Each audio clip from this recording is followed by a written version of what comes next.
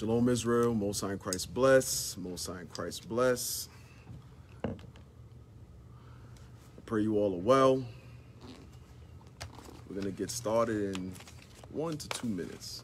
Lord's will. Lord's will. Lord's will.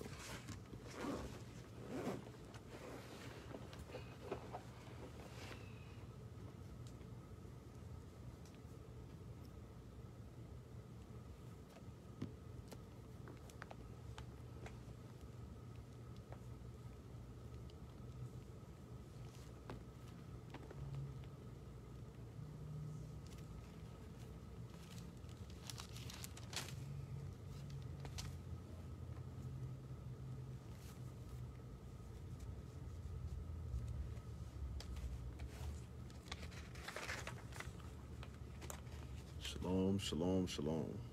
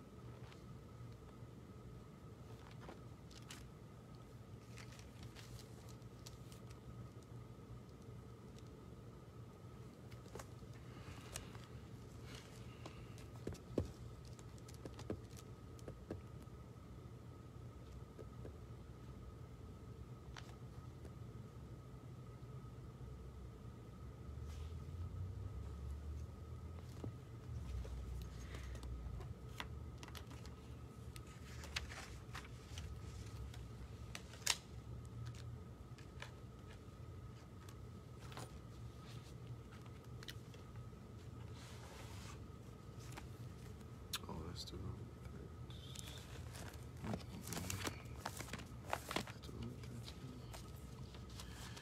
Is there a ranked brother online that can scribe for me? For us, rather.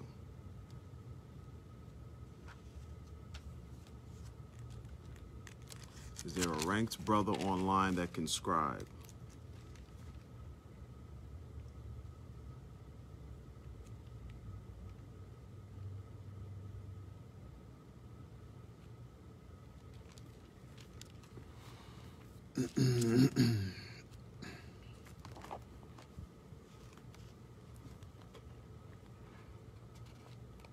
Is there a willing brother that can scribe?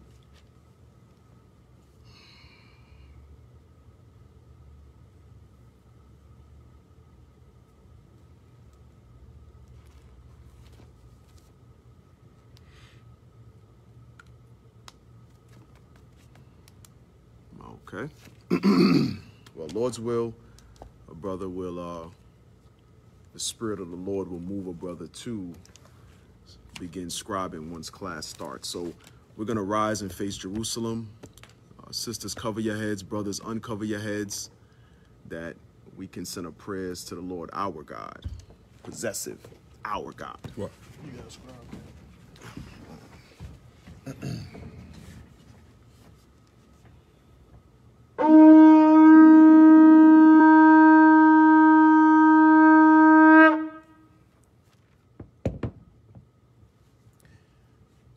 Father, God of Abraham, Isaac, and Jacob, your servants humbly come before thee, Father God, asking for your mercy and forgiveness of our sins and the sins of our forefathers, dear Lord. Purge us, dear Lord, of all our iniquities of mind, spirit, of speech, and actions, dear Lord. We pray that you heal us, dear Lord, of all our broken infirmities, dear Lord, both in, in the spirit, both physically, Father God, the ailments of our body. We pray that you heal us up swiftly, dear Lord. We pray that you not forsake us or forget us, Father God, but bring thy children nigh unto thee.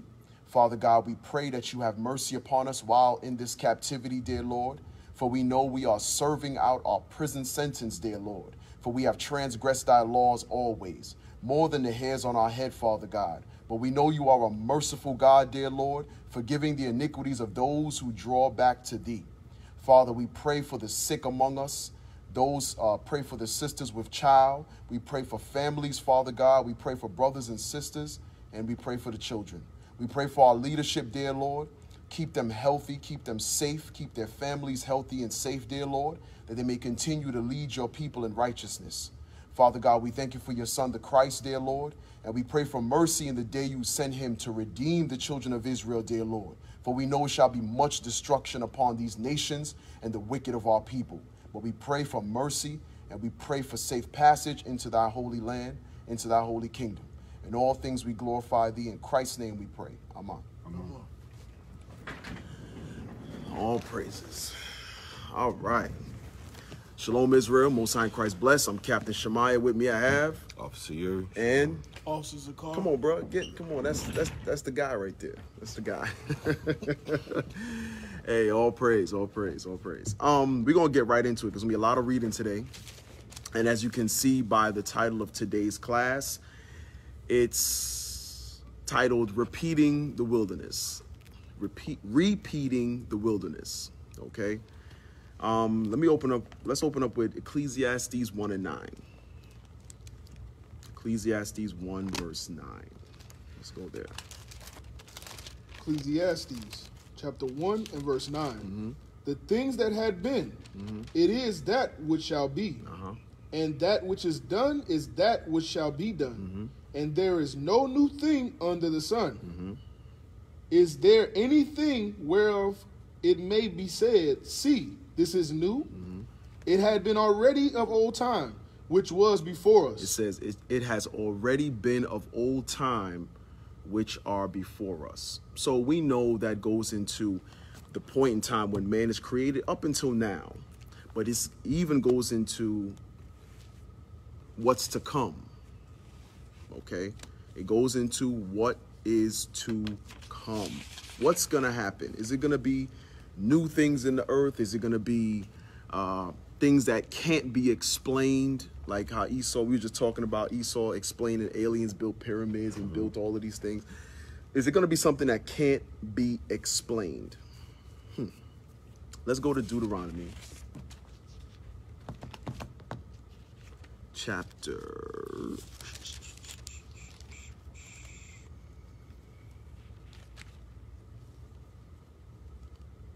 Where was that again? No. He said they may serve me in the wilderness. Is that Exodus? Hold on a second. I'm, I'm going blank here. Bear with me.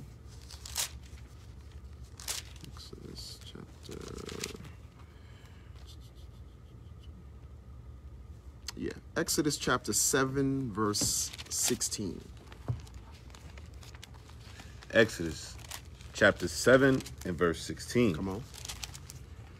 And thou shalt say unto him, mm-hmm. The Lord God of the Hebrews hath sent me unto thee, mm-hmm. saying, Let my people go, that they may serve me in the wilderness. So, one of the reasons the children of Israel went into the wilderness is to serve God. Okay?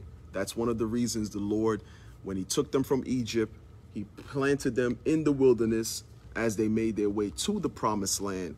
God said, guess what? This is where they're going to learn how to serve me. Because where did we get the laws? In the wilderness. Okay?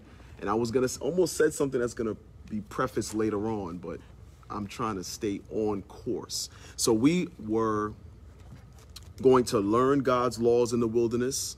Okay?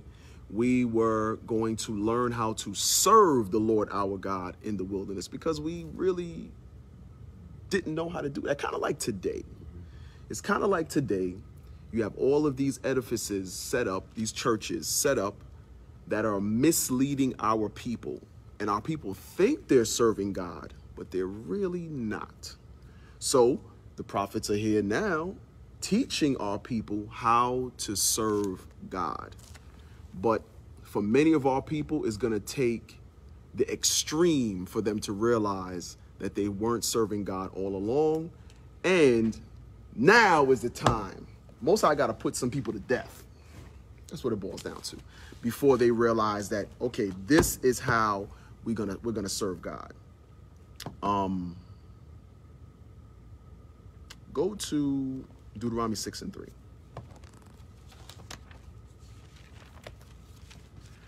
Deuteronomy chapter 6, verse 3. Come on. Hear therefore, O Israel, and observe to do it, that it may be well with thee. So we just we didn't we didn't go to Exodus 20 where we were given the commandments and Exodus 23 and so on and so forth. I just stated it. But this is something this is basic understanding we should all know. We got the commandments, we were reintroduced to the commandments in the wilderness. So read that part again. Hear therefore, O Israel, Mm-hmm. and observe to do it, that it may be well with thee. Observe to do go up one verse. Yes, sir. Verse 2 that thou mightest fear the Lord thy God. Start at verse 1. Yes, sir. Deuteronomy chapter 6, verse 1. Go on. Now these are the commandments, Uh-huh. the statutes, and the judgments which the Lord your God commanded to teach you. So which the Lord did what? Gave to Moses to give to us. So I like I said, I just quoted it, but let's just read it. Go ahead. That ye might do them in the land whither ye go. that you might do them. Because just like today, we all we many of us have Bibles. We can quote scriptures, we can quote what pastor said and what even we can even quote what uh, what Bishop Nathanyel says. But it's all about the application. That's why I might do it. I'm, I'm, I'm telling you. But go ahead. That ye might do them in mm-hmm. the land whither ye go to possess it, mm-hmm. that thou mightest fear the Lord thy God, mm-hmm. to keep all his statutes and his commandments, which I command thee, thou and thy son, and thy son's son, all the days of thy life, mm. and that thy days may be prolonged. Hear therefore, O Israel, Hear, O Israel, not all people, not all men, not every nation, Israel. Go ahead. and observe to do it, mm-hmm. that it might be well with thee. It says that it might be well with thee. That it might be well with thee. Because if you might do as God says, it might be well with you. We and we know Israel is so stubborn. We know that. And if you don't know that, it might be because you're the stubborn one. Right. if you don't know Israel is stubborn, might be because it's you. Just, you know, what do I know? Verse 3 again. Hear therefore, O Israel, mm-hmm. and observe to do it, that it may be well with thee, mm-hmm. and that ye may increase mightily, And that you may increase mightily.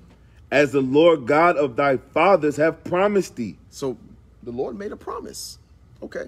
So, real quick. So, let me jump ahead a little bit. Go to Hebrews chapter 3. Because we're going to come back. We're going to go back and forth. Deuteronomy, Exodus. Read verse 17. Hebrews chapter 3 and verse 17. Mm-hmm. But with whom was he grieved 40 years? Was it not with them that had sinned? Hold on. Go up. Go up. Was it one verse? Yeah, Go up one provoke, verse. Hebrews chapter 3 and verse 16. Come on. For some, when they had heard, did provoke. Howbeit not all that came out of Egypt by Moses. Mm-hmm. But with whom was he grieved 40 years? Hold on a second. So we were sent into the wilderness to serve the Lord. We were given the commandments in the wilderness. We were sent, oh, excuse me, we were led by the chosen and anointed of God, Moses. How did Moses feel about the children of Israel? It says he was grieved by them for 40 years. Long time. That's a long time to deal with some Negroes and some Hispanics. I don't I don't know if y'all understand what what, what Moses was what's being said here by Paul. Paul is is uh, expounding on some history. Paul says Moses was grieved for 40 years. It vexed his spirit of how wicked Israel is. Whew. Cause I be feeling like I'm out the spirit sometime when I get grieved. You know what I'm saying? so this is the comfort of the scriptures. I read it and I'm like, damn, so I don't have the devil on me. I can be grieved by. I'm sorry. I'm, it's a tan. I'm going on a tangent. I'm sorry. I'll, I'll reel it back in. I'll reel it back in. Read verse 16 to 19. Hebrews chapter 3 and verse 16. For some, when they had heard, did provoke, howbeit not all that came out of Egypt by Moses. But with whom was he grieved 40 years? It says, but by these people he was grieved, vexed for 40 years. Damn. Go ahead. Was it not with them that had sinned, whose carcasses fell in the wilderness? And to whom sware he that they should not enter into it his rest, into his rest? Mm-hmm. But to them that believe not, Whoa. Hold on a second. So, what you're telling me is Moses was in the wilderness after delivering the greatest nation on the planet. He was grieved by them for 40 years because they didn't believe? Wait a minute. so here we are, ready to be delivered. delivered. But there's a chance your deliverance is going to be, for an example, due to your unbelief. Because unbelievers were delivered out of Egypt. Hmm. But there's no new thing under the sun. Can you read that again? I, I like that Hebrews 3. Paul, hey, Paul is a deep Benjamite, man. I think he was from the west end of Jamaica, man.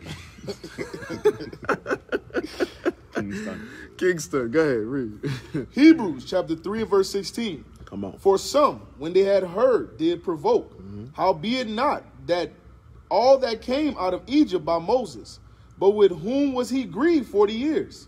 Was it not with them that had sinned, mm-hmm. whose carcasses fell in the wilderness? Mm-hmm. And to whom sware he that they should not enter into his rest? But to them that believe not, But to them that believe not, they did not believe. Go ahead. So we see that they could not enter in because of unbelief. So they could not enter into the land because of unbelief. So during that time, they were in the wilderness and they were they were promised a land. Now, let me say this. That promised land wasn't fully inhabited the way it was supposed to be. Because it's supposed to be inhabited by the righteous. So that promised land is still a promise unto the children of Israel because the children of Israel is not in that land. So that promise is still uh, still must be fulfilled. So there's still a promise set up. So do you think the unbelievers couldn't make it into the promised land of old, but they're going to make it into this promised land? That doesn't make sense. But many unbelievers will be delivered. I want y'all to remember that. Hmm, so let's go back. Let's go back. Let's go back. Um,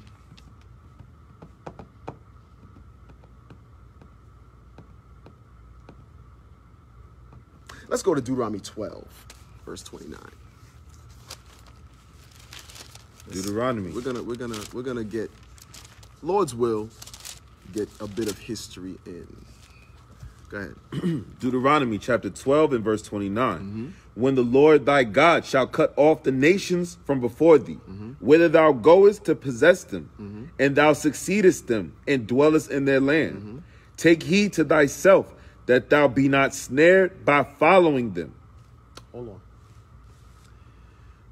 So the Lord delivered the children of Israel. They're going through different lands and conquering the people. A great, a great. We know it with um, Moses, but I think Joshua is even more detailed about the conquering of the of the nations. Joshua is very, very detailed about that. But as we left the wilderness and going through different lands to make our way to the promised land, God is having us kill off all these nations, right? Killing off all these nations and possessing their land, dwelling in their in their in Man, I tell you, that's some good history. Y'all need to really, really, really uh, uh, dive into that. Okay, that's some good stuff. All them action movies you see and your Brave Hearts and all those kind of movies, that's all about us. That's all about us. And what it is, during those times of the Dark Ages, we're just repeating what we did coming out of Egypt, conquering nations, taking their land. That's what we did. It's no new thing under the sun. So when we did it during the Dark Ages, don't be surprised by our, our, our, our marksmanship, archery, you know, swordsmanship. That's what the what God gave us coming out of Egypt, right? Go ahead. Verse 30 Take heed to thyself that thou be not snared by following them. So, but we're out of Egypt. Remember, we were in Egypt following the customs of the Egyptians. Now we're out of Egypt, and God is still warning us don't follow the other nations. Is that a problem with our people today? Yes, it is. Yes, it is. We want to be like the other nations. Some of us, as we're being delivered, will be looking back saying, No, Susie, Ned, no. Some of you don't even want to be delivered.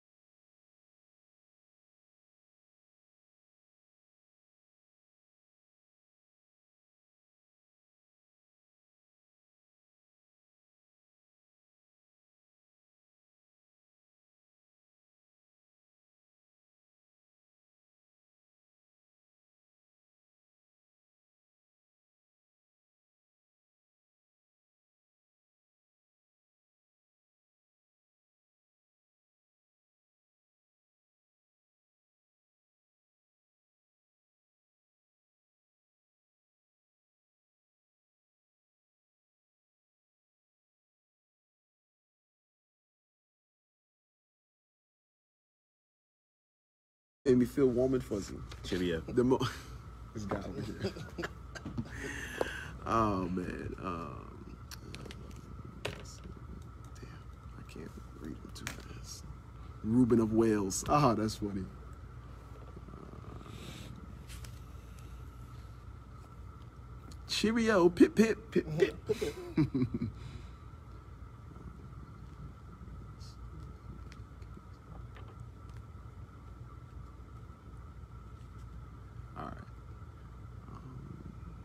all praises to the Lord. All right, Israel. I pray we all stay in the spirit. Most High Christ bless you all. Shalom. Shalom. Shalom.